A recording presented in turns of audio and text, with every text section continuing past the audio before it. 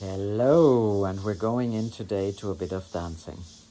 Uh, well, my favorite dances are maybe bossa nova or some other great dances. Um, this dancing is not really a classical dance or a social dance or a ballroom dance or just a dance for fun. This kind of dance is more the dance that is within you. And this dance is to the sacred rhythms of the universe, of the cosmos that is supporting us in making that shift into homoluminous.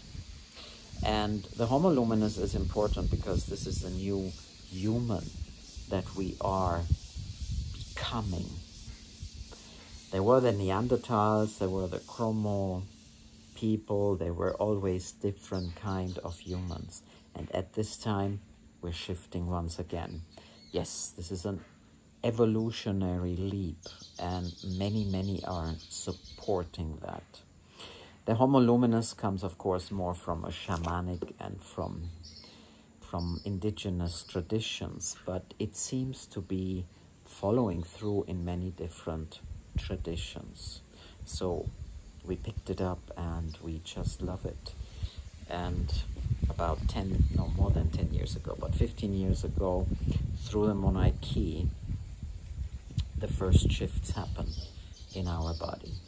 And now, as the whole thing is shifting, the earth is also in this rebirthing process. We had ice ages, we always had evolutionary situations on the planet. We have another one. You could say it's because it has the earth has been harmed so much and all of that, but it's not about blame. It is about the shift that is occurring.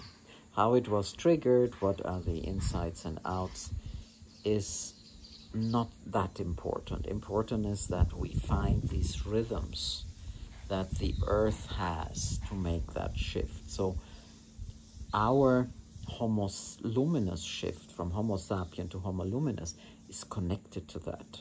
Nature and cosmos don't work separately. And also the shifts that are happening in the cosmos from the Piscean to the Aquarian age, or what the what the Indians or some Indian traditions consider the, the end of the age of Kali, the dark ages, 2025 coming up. It's all connected. It's about us finding those rhythms and us flowing with these rhythm, rhythms and dancing into all these new states of being, in these new states of consciousness. And where it all starts really is with self realization, understanding who we truly are.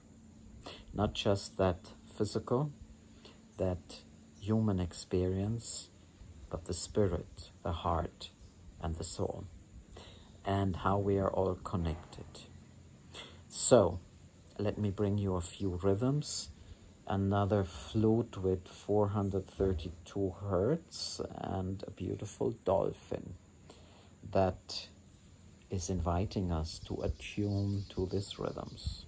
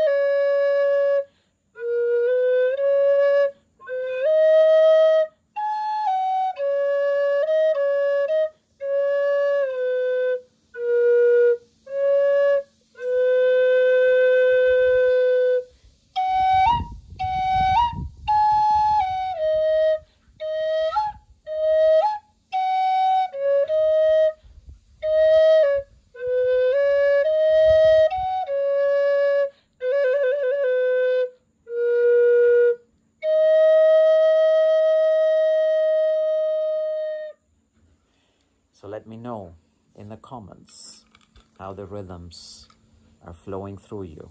This is just the beginning, and yet we need to start somewhere. So let me know how it goes. Much love from my heart to yours.